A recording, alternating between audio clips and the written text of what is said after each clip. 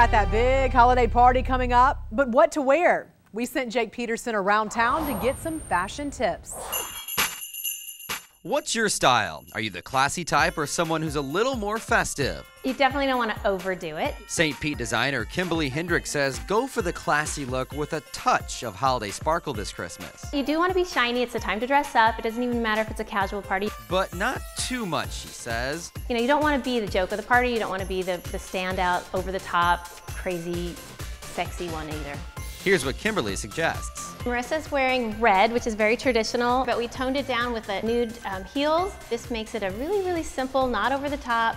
Um, people are gonna notice you. And if dresses aren't your thing, then Kimberly says wear jeans with a sparkly top, but use caution. It has to be a more casual party. You know, jeans are, some people would be maybe insulted if you wear jeans to their, their Christmas party. Here's a few do's and don'ts from the experts. Pair a sparkly outfit with nude shoes to tone down your look.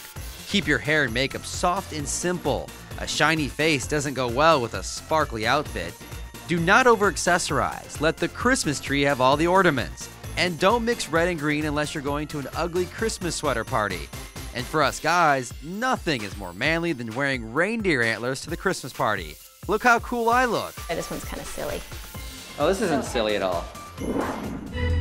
You might get away with red and green here, Busch Gardens is starting a new family tradition with Christmas Town.